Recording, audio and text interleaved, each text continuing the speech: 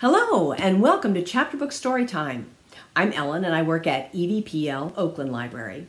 On today's edition of the Variety Pack, I have two books that have similar themes. And the funny thing is, I didn't realize it until I started reading them. They both have the theme of exploration of the unknown. One book takes place in outer space, and the other on Earth. So, why don't we get started? The first book I'm going to talk to you about is part of a series, and it's also based on a podcast, an award winning podcast called The Unexplainable Disappearance of Mars Patel. It's an award winning podcast with a script, and the actors are young people. Um, so it's really good, and you might want to take a listen to it sometimes. But out of that podcast came this book series. And the first book in the series is called The Unexplainable Disappearance of Mars Patel, just the same title as the podcast. And the author is Sheela Chari. I thought I'd read to you from the book jacket of the first book because I really want to concentrate on the second book. So, here is what's going on. Kids are disappearing from H.G. Wells Middle School, and the adults don't seem to care. When Mars Patel's friend Aurora goes missing, he and the rest of his detention crew band together to find her. But a talent for practical jokes and avoiding their school's numerous surveillance cameras will only take the friends so far. Kids all over the world are going missing, and it soon becomes clear that the disappearances have something to do with Pruitt Prep the elite school created by tech billionaire Oliver Pruitt, who happens to be the most powerful man in the world and Mars's idol. So that is the basis of the book series. The second book in the series is entitled The Interplanetary Exploration of Mars Patel, also by Sheela Chari. So Mars finds himself on a rocket ship headed for Mars. Let's find out what happens. Mars, say goodbye to Earth. You are about to go on the adventure of your life, crowed Oliver Pruitt, the billionaire inventor who had orchestrated this journey on his own spaceship. Of course, he wasn't actually in the cockpit. Only a hologram version of him stood there. But that didn't stop the man from gushing virtually from his control center millions of miles away. Go on, float around, Oliver called out as Mars turned green. Welcome to zero gravity. Just a few minutes ago, after leaving Earth, Mars had unbuckled his harness and felt himself free floating inside the walls of the cockpit, somersaulting and pinwheeling his way through the cabin. First he was right side up, and then he was upside down until his limbs felt like clouds, and the universe zoomed by outside in a veil of darkness. Was this really happening to him? Was he really on a spaceship headed to the planet Mars? Now Mars's friends and his mom were left behind, maybe forever. It had been 12 minutes since liftoff, but to Mars it felt like a lifetime. He needed to know where Aurora was and why Oliver had led him to outer space, far from everyone Mars loved. But first Mars had other problems. He heaved into a paper bag. Oh, I think I just barfed up a lung, he said weakly. Nothing like traveling through space for the first time. What you're feeling, Mars, is motion sickness as your body adjusts to weightlessness.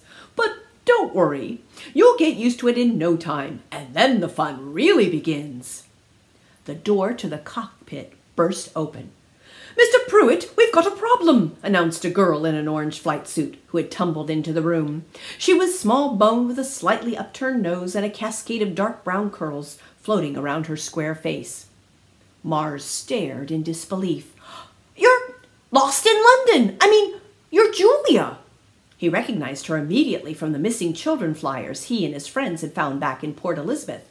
But where had she come from? Had she been on the spacecraft the entire time? When did you get here? he asked. Julia rolled her eyes at him, but her voice was gentle. Mars, I didn't get here. I've been here. But honestly, I don't have time to explain when we're in an emergency. Mr. Pruitt, I need to know if. But hologram Oliver Pruitt was fading away. Julia's eyebrows knitted together. Mr. Pruitt, she repeated crossly. Sorry, Julia, uh, have to run, but it sounds like you've got it under control. Oliver Pruitt was growing fainter and fainter until he was just a shimmer go, Mars cried out. You need to answer my questions. Where's Aurora? What's going to happen to my friends and my mom? And why did you lie to me? Why did you make us go through all of that on Earth? Oh, that's a lot of questions, Oliver said wryly. I need to know. I had to make sure you were ready for the Red Planet. Oliver now is barely an outline. Wait until you get here. The colony will blow your mind. Colony? Uh, Mars repeated. Is that where Aurora is? There's so much to tell you, Mars, about why I chose you for the mission. Because you are... The spaceship lurched horribly. Warning! Breach imminent in Sector C. The announcement rang across the speakers, followed by an alarm. Mr. Pruitt! Julia said again more urgently, but Oliver Pruitt had vanished from the cockpit. Oh, great! Just what we need! A commander-in-chief who's MIA. Warning! Breach imminent in Sector C. Is this warning serious? Mars asked nervously. What does it mean? Julia had floated to an intercom mounted on the wall and now said loudly into the mic, We need you on the flight deck, now! Then she turned to Mars. It means that if we don't do something about the hole in Sector C, we are going to burn up like a marshmallow on an open flame, which is what I was trying to tell Oliver Pruitt before he vanished on us. Warning, catastrophic breach in Sector C. Catastrophic breach in Sector C. All systems disengage in three minutes. Does this mean we're going to die? Mart felt, Mart's felt his heart thud. Until now, it had seemed like things were going well enough. Sure, he thought Pruitt Prep was a normal school on Gale Island until he found out that it was also a spacecraft headed to Mars. And sure, Oliver had tricked him into coming on board, but Mars hadn't expected to die on the man's watch. Now Oliver was gone, and catastrophe was around the corner. It means we have to handle the problem ourselves, Julia said. That means you, Mars. But, but I don't, muttered Mars stuttered in panic. I've never been on a spaceship. I've never... Julia steeled herself. I get it. This is all new for you. It's natural to freak out, but I need you to calm down so you can help us not die. You think you could handle that? Behind Julia, a panel slid open. A teenage guy in a gray suit floated in. His brown eyes were wide-spaced and intelligent, and he looked like he hadn't had a haircut in weeks. Places, everybody, he said easily. These interplanetary space shuttles don't fly themselves. Mars stared at him, agog. Who else was on board this spacecraft? You really took forever, Orion, Julia said. We have less than three minutes. Orion tumbled toward the cockpit and slipped into the pilot's seat. He strapped himself in next to Julia, who was already strapped in and waiting for him. I heard, I heard, he said to her. He inputted some numbers into the control panel. Julia, you handle the throttle. Roger that. Orion turned to Mars. How about you, Butterfly? he said evenly. Butterfly? Wait, wait, who are you? Mars Orion, Orion Mars, Julia said, making quick introductions. He's the pilot. Think you can spin us? Orion pointed to a wheel mounted on a con cons console behind him. I guess, Mars said unsurely. That will mean you aren't buckled in, okay? Orion asked. So hold on tight or you're really going to be flying around here like a butterfly. Start turning that wheel now. The wheel was surprisingly heavy. Mars gripped the handle with both hands, breathing hard as he rotated. What does this do? he asked, panting. We're turning this craft manually, Orion explained, his eyes on the flight monitor. I already applied a patch from the service module using a bot. That ought to hold us. Later, when we get to the space station, we'll repair the breach for real. Okay. Mars stopped talking as he concentrated all of his energy on turning the wheel. Orion was right. It was taking everything to hold on so that Mars wouldn't find himself thrown against the walls of the flight deck. Then, a few minutes later, the announcements stopped. The lights came on in the room, and the spinning stopped. Mars let go of the wheel and floated gratefully to an open chair. Through the monitors, he could see the spaceship moving forward as Orion finished entering coordinates into the panel. Back on autopilot, Orion said, and on track to reach Pruitt Space Station at expected arrival time. Excellent work, Orion, Julia said. Of course you are the best pilot at Pruitt Prep. Yeah, but you're the one who spotted the breach. Orion stretched back in his chair. Just so that just leaves you, Butterfly. Why are you here again? Why do you keep calling me that? Mars asked. Cause you look like one, flying around like somebody's gonna eat you. No, I don't. Mars jumped up from his chair so suddenly that the momentum spun him forward into the monitors. He leaned back, rubbing his sore arms. Butterfly, quit calling me that. Oh, bloody stop, both of you, Julia said. She had clearly had enough. Orion, you know who he is. He's Mars Patel. Orion gave a good-natured smile and held his hands up in the universal gesture of backing off.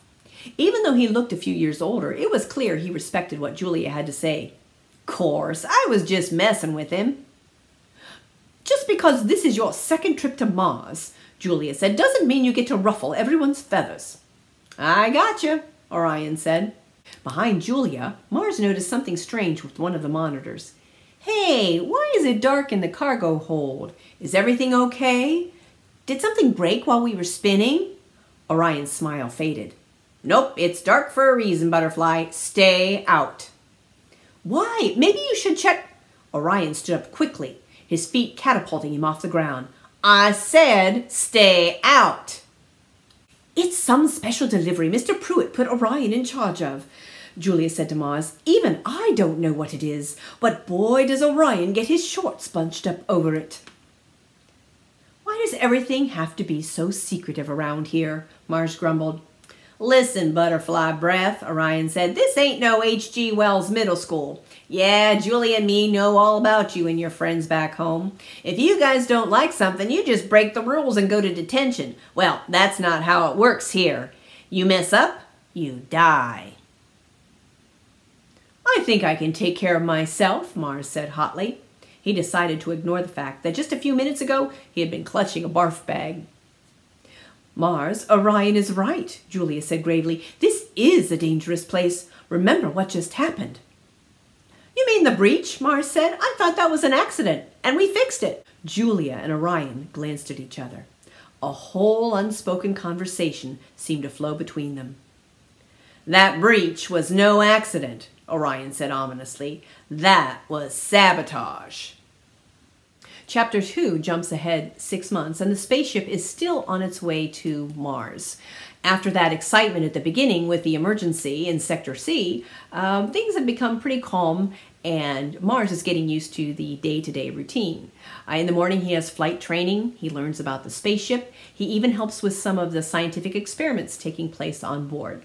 And he eats meals with Julia and Orion, and they're getting to be very good friends. One day, Mars asks, why are you here? For Julia, it was a chance to do something new. First, I was looking for the missing kids, Julia said, referring to the hundreds of children who had gone missing around the world, who were actually at Pruitt Prep. Until I found out where they were. After that, it was seriously boring being in my flat in East London. It's not like I've got a trove of kids like me to converse with. And I love my parents, but they own a hardware store. How long can I talk about lug nuts and home repair? Me? I got nothing else better going on, Orion said. This is way cooler. Mars asked him if he missed his family. I am my family, was his reply. Well, you guys had a choice, Mars said. I'm just sort of here. That wasn't true. He had a choice, and the choice had been to protect his friends and find Aurora, but Mars didn't know then that his choice would include going on some kind of interplanetary expedition. Maybe butterflies just go where the wind takes them, Orion said, grinning. That was the other thing, the teasing, but it was different here. Here, everyone looked out for one another. Still, when Mars remembered his home, he would catch his breath. How was his mom? How would she manage without him?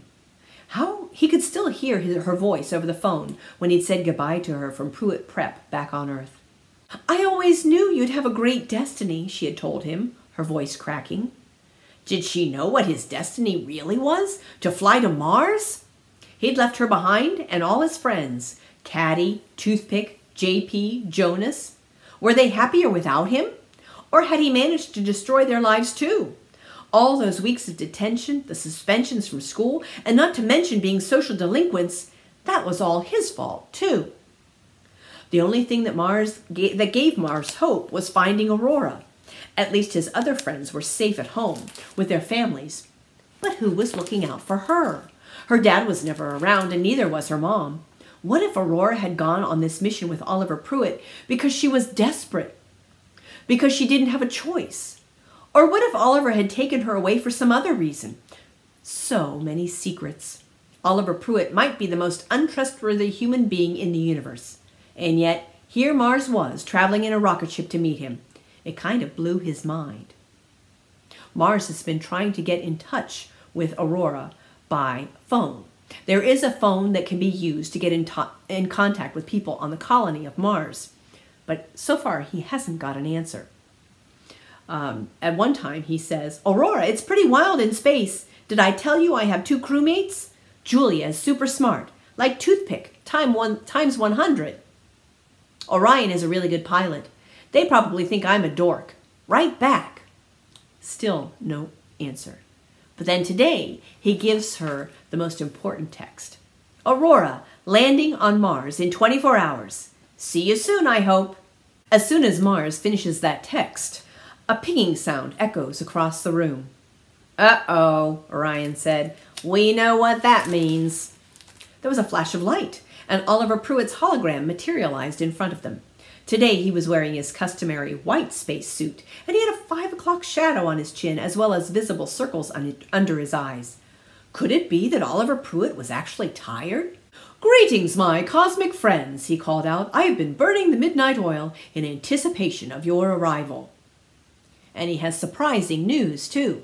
They're not going to be landing on Mars in 24 hours. They are going to be landing in one hour, and it's time to get ready. Sir, that's 20 hours ahead of schedule, Julia said. Are you certain? We're docking already? Mars looked from one face to another. Affirmative, Oliver said. That's because I increased your spacecraft speed remotely. We've been experiencing uh, interference. Better you arrive before anyone else knows. Is it the Martians? Orion asked. Are they giving you trouble? Oliver's smile was steady. Yes, but we don't let setbacks slow down progress. Martians? Mars asked. You mean little slimy green aliens with red eyes? No, Butterfly, Orion said. Mr. Pruitt's talking about a small group of colonists giving him grief. They call themselves the Martians, and they're a royal pain, Julia said. Who do you think sabotaged us six months ago when you first came on board? She stopped, as if she had said too much. That's what the breach was? Mars asked. Why didn't you tell me about the Martians? I mean, colonists. What's so secret about them? Some of the colonists, Oliver corrected. But listen, that's not important. I'm here to tell you to secure the spacecraft, get into position, and prepare for your arrival at Pruitt Station. You will be docking in the main area, then transferring to an Oliver shuttle. An Oliver shuttle? Mars repeated. It sounded like one of those rides at Six Flags. That's right, just a short ride and you'll be on Mars. Mars on Mars, Orion said, grinning. Oliver Pruitt's hologram shimmered. We're all very excited. Roger that, Julia said. We're excited too, sir. We will be ready. Oh, and one last thing, friends, Oliver said. Keep this information about your arrival to yourselves. We don't want any trouble. Understood? You can count on us, Orion said. What about that special delivery in the cargo hold? Oliver's eyes flicked momentarily to Mars. Continued as planned, Orion. And remember, no one is allowed in the cargo hold. And this time his eyes rested plainly on Mars. Mars stared back, feeling rankled. There it was again, secrets. After all that had happened, why was no one being straight with him? What was so important in the cargo hold? Oliver, Oliver Pruitt gave a swift salute. To the stars! To the stars, Orion and Julia said at the same time. Yeah, right, Mars muttered. There was another ping, and Oliver's hologram shut off. After all that had happened, after all the awful things Oliver Pruitt had done to him, humiliating him in front of his entire school, kidnapping his friends, oh, and oh yeah, forcing him to ditch everyone on Earth for this mission, Mars was still excited. He had been training for months with Julia and Orion. It had taken him weeks to figure out how to lock on the helmet and gloves. Mostly, he couldn't believe he would be landing at the space station and heading off from, from there to Mars, where he would meet Oliver Pruitt. A jerk, yeah, but still a pretty famous jerk. And finally, find Aurora. As Mars was throwing away his food items, he heard an unfamiliar buzz in his pocket. It was coming from his IP phone. He pulled it out quickly. Was it Aurora, finally? So far, she had never answered any of his texts. Mars's pulse quickened as he clicked the envelope icon on the screen. But it was not from Aurora. It was from someone he didn't know, with a warning. Server Interplanetary. From Anonymous to This is Mars. Mars, we know about your arrival. You are in big danger. We'll find you, so don't bother hiding. Don't tell anyone you got this message, or it's bye bye, Julia and Orion. So many secrets, so many questions. Who is this Oliver Pruitt guy? Is he a good guy, bad guy, or just a jerk like Mars thinks? What is in the cargo hold, and why doesn't anyone want to let Mars know what it is? What's the big secret? Where's Aurora? Will Mars find her in the colonies? And why do some of the colonists want to sabotage this mission to Mars? This is a science fiction mystery with lots of adventure built in, an exploration of the unknown. The series is called The Unexplainable Disappearance of Mars Patel by Sheela Chari, based on a podcast of the same title. And then the second book in the series is The Interplanetary Expedition of Mars Patel by Sheela Chari, a great series with lots of adventure and mystery. Our next book with the theme of exploration is North Wind by Gary Paulsen. Now, I know a few weeks ago I read a book called How to Train Your Dad, which was a very humorous story by Gary Paulsen. But this is a type of novel, North Wind is the type of novel that we think of more when we think of a Gary Paulsen novel. He writes a lot of books about the wilderness and survival and exploration of the wilderness, and that's what this book is. When Gary Paulsen was a young boy, he used to listen to his grandmother's tales of Norse mythology. She was from Norway, and, and Gary loved to listen to those stories. And Gary also spent a lot of time uh, on the water, on the sea, learning how to sail, and those are some of his most precious memories. And so he decided that he would write this adventure story of the wilderness. Uh, Gary Paulsen passed away in 2021, so this is one of our last books by Gary Paulsen. And so I wanted to highlight it because it really is a very good story. This is a tale of Leif, a young orphan boy named Leif. And Paulsen wants to give it the feel of an ancient tale, a saga, or an epic story about a brave hero. Um, you can see in the beginning, in the introduction, he has what he calls the saga of a sea of the sea child, meaning a, a story of heroic deeds, an epic tale. And he even in the the print that is used looks like ancient runes, and you see these symbols, ancient Norse runes, as if to make this seem like a very ancient tale that happened centuries ago. The saga of the sea child. And it came to pass he was born of a woman of the sea born of a sea woman, with a blood clot held tightly in his fist. A sign, a sign to tell, to tell of hardship and danger in the life to come. To come from the tiny fist and clot. And the mother of no remembered name did die birthing the boy, and the father, also of no remembered name, had passed to Valhalla fighting a whale. As there was no other named family, the boy was born an orphan, alone, to live alone on the docks, a dock boy, a wharf boy, nursed by sucking rags dipped in sour goat's milk and fish oil, that on scraps others would chew to soften, dressed in yet more rags with crudely carven wooden shoes, always half naked. He was that boy, that boy. And they called him the wharf rat and named him Leif, for no other person on those docks had that name and when he was old enough to walk, they took him on the boats. For all his young life, he was passed from one boat to the next, to the next, to the next. No longer the wharf rat named Leif, but a boat rat named Leif. And when he could use his hands, they set him to repairing nets, sewing ripped nets, torn clothing, and sharpening the seal killing harpoons, beating him with wooden rods if he did them wrong. And they made him cook greasy eel meat that the sailors would eat. For 12 years, Leif lived pretty much like a servant on these ships, helping the sailors and the seal hunters. On his 12th year, in his 12th summer, he, Leif, another young boy named Little Carl, and four older, weaker men who weren't able to go seal hunting were dropped off on an island. They were to go salmon fishing, uh, catch as much salmon as they could, smoke it, and preserve it for the winter. It was while they were on that island that Leif's life changed.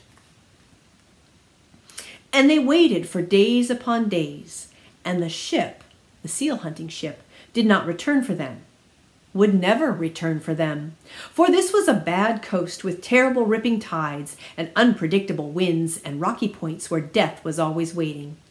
And this they knew, and so came to know there would be no ship coming back for them, and that the ship and crew were gone to Valhalla. Valhalla is, in Norse mythology, is a great dining hall where all the brave warriors who die in battle, all the brave fishermen go uh, to spend eternity. And they were alone. And they would have to leave this place by way of the sea they had a small canoe, which they had used axes to carve from a cedar log for working in the stream spearing salmon. But they were too many for so small a craft, and it was decided that they should make a large dugout canoe to take them all, and had cut down a giant tree to roll drag into camp. And they would have done this, could have done this, except death found them. Death came to the island, Men came to the island carrying disease. They were very sick and they infected the people in the fishing camp. And as one by one the old men started dying, one particular old man, named Old Carl, who hadn't got sick yet, saw what was happening. So he took Leif and little Carl, put them in the small canoe, gave them supplies and food, and said to Leif, Paddle north, go north. Whatever you do, get away from the sickness. And so that's what Leif did. He paddled north. Didn't know where he was going, didn't know what would happen, but he paddled north at 12 years old. What an adventure. Unfortunately, along the way, little Carl did get sick and he died. So now Leif is completely alone on the water, heading north. Leif had never been alone before. He had always been with other sailors. Now he's in a canoe learning to paddle, learning to navigate unknown territory, and learning how to survive. He begins to have a certain routine to his day. Uh, for several days, he will paddle, keep paddling north um, along and uh, seeing dolphin and whale and raven and crows. And every once in a while, he would stop at an inlet where he can fish for salmon and smoke it for, the, for another journey, uh, gather blackberries to eat, uh, and that's where he has some encounters with bears, some adventures with bears. And as he goes along, he's learning. He's learning how to survive in the wilderness. He makes some mistakes, uh, what we might call rookie mistakes or beginner's mistakes, but he survives and he keeps paddling north and seeing wondrous things along the way. Here's one chapter, one of my favorites, where he has a great adventure. It's called Dancing Giants. And now the country changed, as he had changed. For a slogging period of days, the whole business of inlets disappeared, and he was forced to paddle directly northwest up a long channel. There were nearly no side places to long stop and rest, and when he finally had to just flat quit in exhaustion, all he had available were thick brush and stunted trees that grew out of the side of the rock faces to tie the canoe off, to hang and rest. No matter how his arms ached, it was still better than his life had been on the ships. He had kept going, another day and one more sleep, and the next time he awakened, he sat up in the canoe and looked ahead into thick fog. It was not something new, fog, and he disliked it for the way it blocked his vision. He began to paddle, pointing ahead northwest up into the narrow channel, and felt the tidal current pick him up and carrying him along. He could see almost nothing, barely visualized what was directly in front of the canoe. But he sensed a change in the water around him, felt the channel widening and the current that was pushing him slack off, with the water becoming more spread out. He could hear the birds, squawking gulls, gurgling ravens overhead, thinking they must be above the fog, or, more wondering, would they fly in fog as thick as this? Could the fog be that shallow in depth? And now he heard a new sound that made no sense at all huge splashing, as if something enormous was getting dropped or thrown down on the water. Out there, in the fog, where he couldn't see. Something it seemed sometimes it seemed close, or again very muffled, as if farther off. And then nothing for a time. And more, two, three times explosions of water sound, with no order or rhythm quiet, and then whoosh, bang, again, and then it was gone. He had quit piling, he had quit paddling, but when the water thunder, as he thought of it, seemed to have stopped, he started up again and had gone a while in the fog, stroking evenly, straight ahead, trying to push his eyes through the gray blank wall in front of him. When suddenly, as if passing through a thick veil, he came out of the fog. He had just two moments to see what lay before him. He had come out into a large bay surrounded by islands and the mainland on the east, so it made an enormous circle of calm water. And it was filled, absolutely filled, with whales. They, there were spouts everywhere, one after another, and whales, not just killer whales, but true giants of the sea, leaping up into the air and falling back with a large thunder crash of water. Then, directly in front of the canoe, the very ocean seemed to swell, pushed up from beneath, and first the nose and then the whole front half of a giant whale exploded up, towering over the canoe and Leif for an instant, and then slammed down and over to, to the side in an explosion of water and noise that seemed to engulf the whole canoe. If it had come down on me, we never would have come up. Leif couldn't believe, believe the canoe was still floating. So the whale came up out of the water, over the canoe, and down into the water on the other side. Leif couldn't believe the canoe was still floating. The pressure wave from the falling whale plowed into the side of the small boat, drove it sideways, skidding on the water like a chip of wood. He had no control. He had the opposite of control because everything he tried to do turned out to be wrong in the thick fog, paddling as best as he could in a straight line. Without realizing it, it, he came out well out into the bay. He had heard the jumping whales around him, but had seen nothing. And now, now he could see everything. So that was the sound, the whoosh and the bang that he had heard in the fog. And what he saw came close to terrifying him. He was smack in the middle of what seemed to be an Odin inspired gathering of true giants and he suddenly remembered old Carl, watching little Carl trying to keep up and getting brushed aside with men at work, saying, When oxen dance in the barnyard, mice hide in their holes. And now Leif was the smallest of mice in a massive barnyard. In the fog, he had propelled himself out into the very center of all that was happen happening a frenzy of whales. Of course, he had seen killer whales, orcas, very close. He had touched one, made eye contact, and had seen giant whales before while he was captive on the ships, but always at a great distance. Vapor spouts far away, now and then a set of flukes when a whale, whale dove again, but never close. A brief flash of something black and shiny and wet off in the distance, and then they were gone. They always seemed to be trying to avoid the ships, always dove deep or turned away. Never like this. They weren't avoiding anything, couldn't care less about a boy in a canoe, and he realized suddenly what they were doing. They were being whales. This was how they lived. And if I live, he thought, I will have gotten to see this. At the moment, he wasn't quite sure he would be able to pull it off. The whales that were jumping, He had come to believe that they were dancing, were mostly gray whales, and when they came up, apparently from the bottom somewhere to get a good run at it, they blew out of the water so hard it seemed as if they were trying to fly. But of course they couldn't. They had to come back down, and they just as apparently had not had a usable plan on anything but just the leap up. They fell back wherever, however, and Leif knew that if he happened to be under one when it landed, he would simply disappear. The end. The trick was he didn't know how to avoid the jumpers. Since they didn't seem to have any coherent idea, they just jumped wherever they happened to get the urge, or so it seemed, it was impossible tr- to try to paddle the canoe in such a way as to avoid them.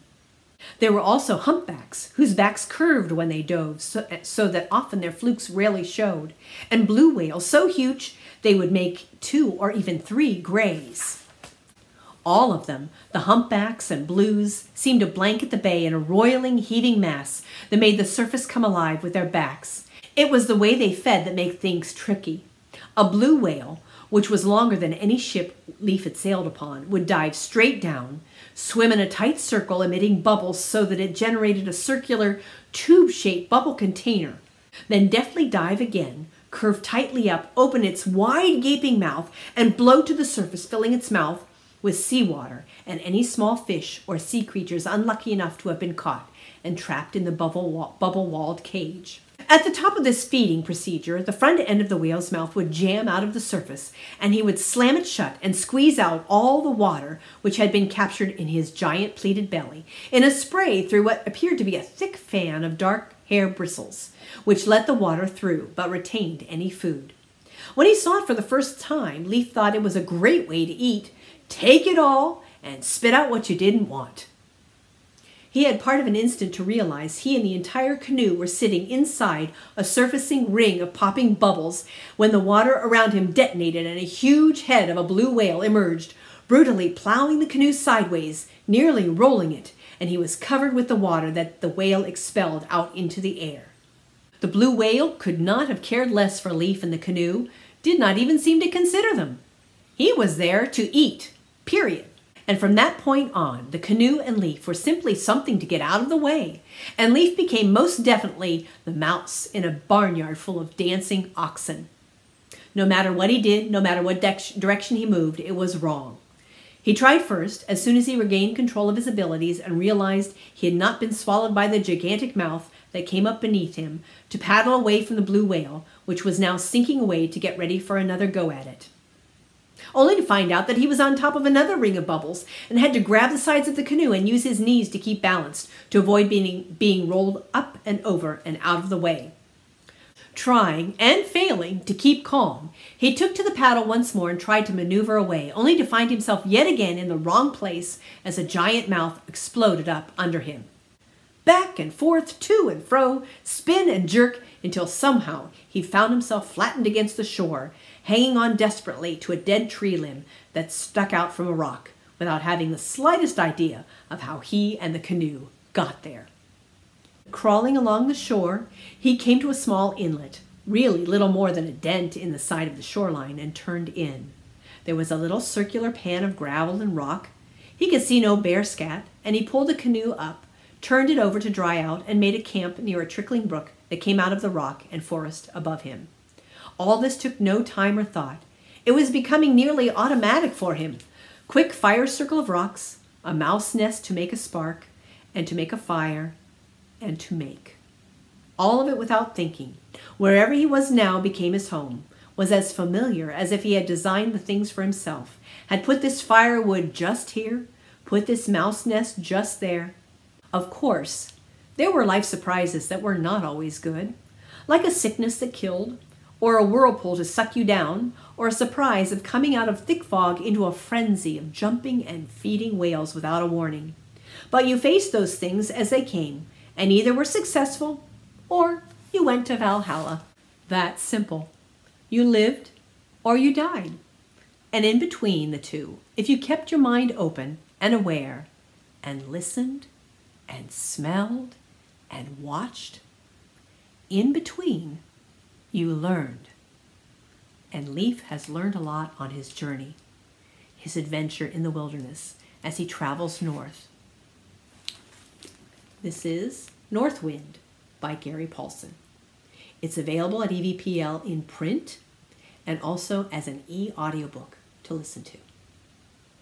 Our other books today, the series, the Mars Patel series, are available in print at several EVPL locations. That's it for another edition of Chapter Book Storytime Variety Pack. I hope you enjoyed our stories today, and I'm really glad you joined me. Thank you so much. Have a great day. Bye bye.